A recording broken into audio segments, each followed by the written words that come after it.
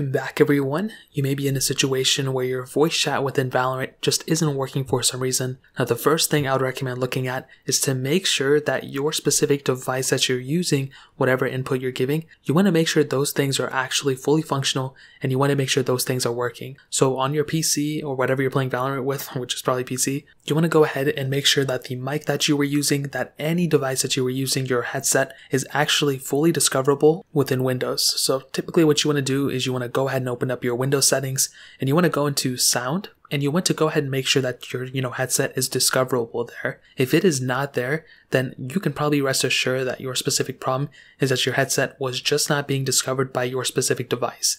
And that's really all you have to do. That is typically the easiest thing to do at this point. You may have to turn your headset off or turn your microphone off or disconnect it and then turn them back on and you know connect them fully. That will usually fix it for the most part. If that doesn't fix it, what I would recommend doing is if your PC is discovering your headset, but for some reason Valorant isn't, you may have to quickly close out of Valorant and then open it back up. So you want to go ahead and close out of the, you know, client as well as Valorant itself, and you want to go ahead and open it up, and you want to see if that had anything to do with it. You want to see if that fixed it. I do think a majority of the time that will end up fixing it for you, and that's typically what happens for me. Anytime I'm playing something or if I'm, you know, trying to record audio and no audio is being recorded, typically I just have to close out of the specific thing, go back into it, and that typically fixes it. You can also go ahead and try updating Valorant. That I've heard this work many, many times, and I think you might be in a situation where this can be fixed too. So I'd go ahead and recommend updating Valorant and seeing if that fixes it there. Now, you may be good to go at this point. If you're still having issues, you can always reinstall Valorant and that may fix it for you. So that's pretty much it.